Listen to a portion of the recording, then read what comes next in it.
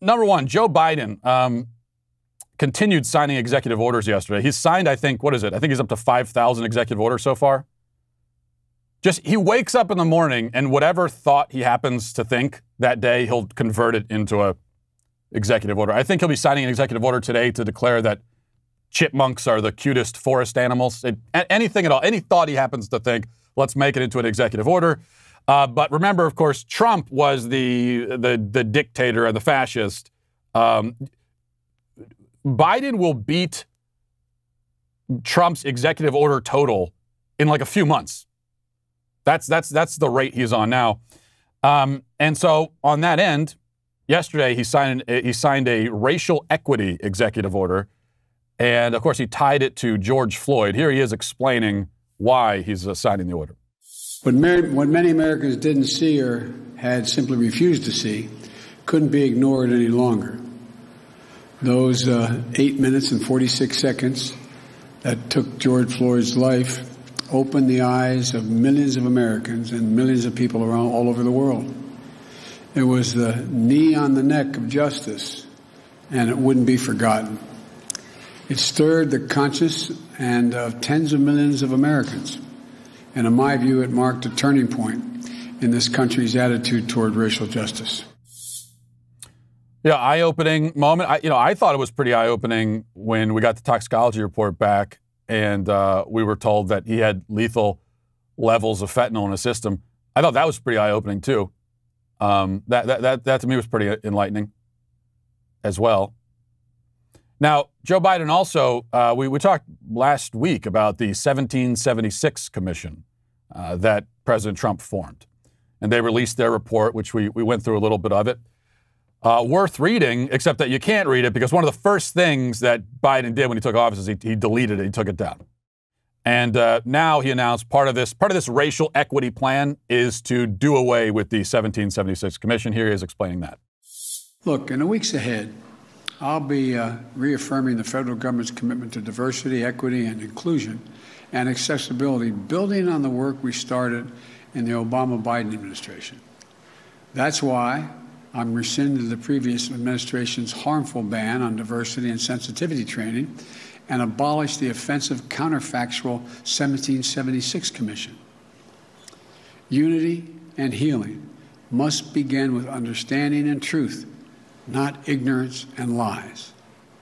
Today, I'm also issuing an executive order that will ultimately end the Justice Department's use of private prisons, private prisons, an industry that houses pretrial detainees and detainees and federal prisoners.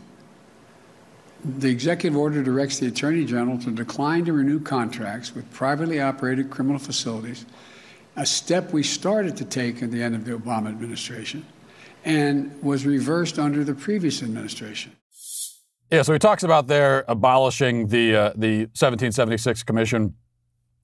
You know, and he, he also says he also says it's it's count, counterfactual is the 17. What part of it is counterfactual? The, the, the report lays out basic facts of American history.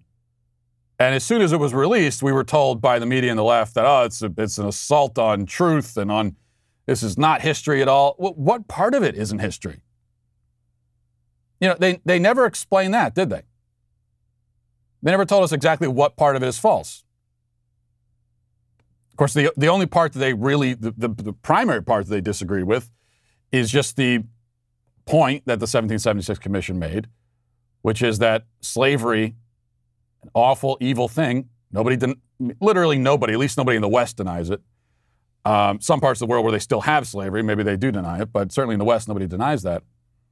But it's also not a, a, crime or a, a sin uh, unique to Western society. The white man didn't invent slavery. And that does matter.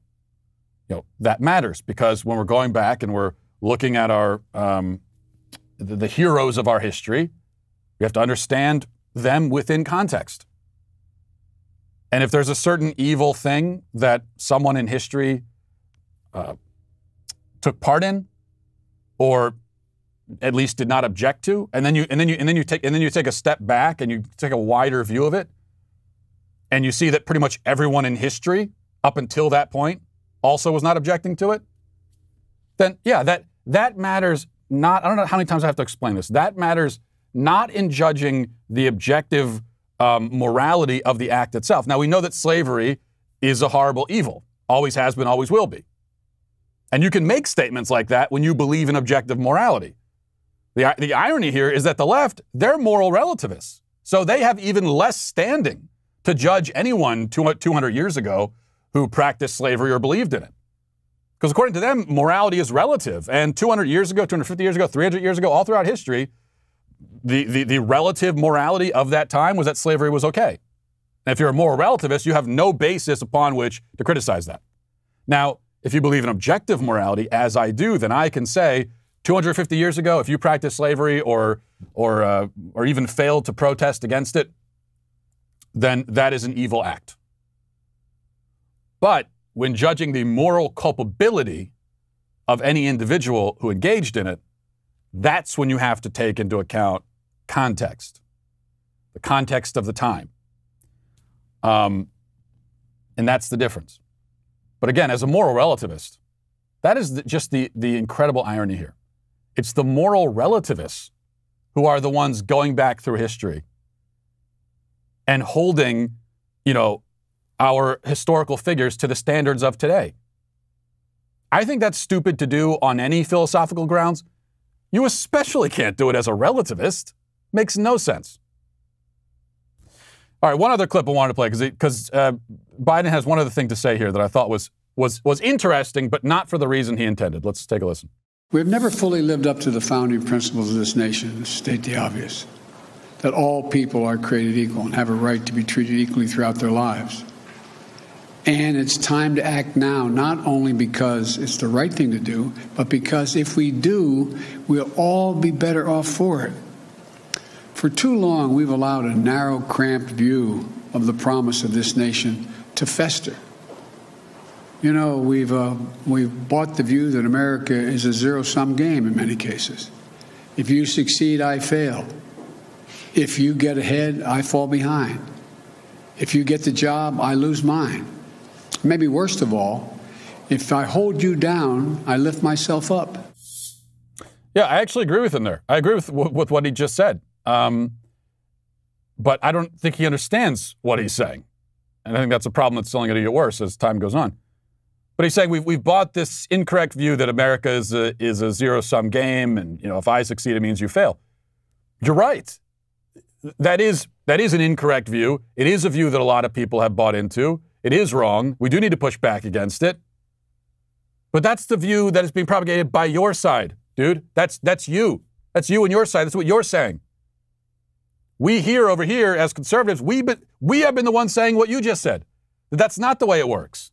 That's why you don't have to look with resentment on someone who's wealthy and successful. Just because someone's wealthy and successful, it doesn't mean they're taking something away from you.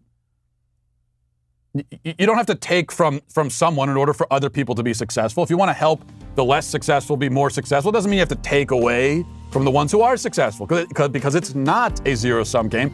That is an incorrect view. But again, Biden, it's your view, not ours.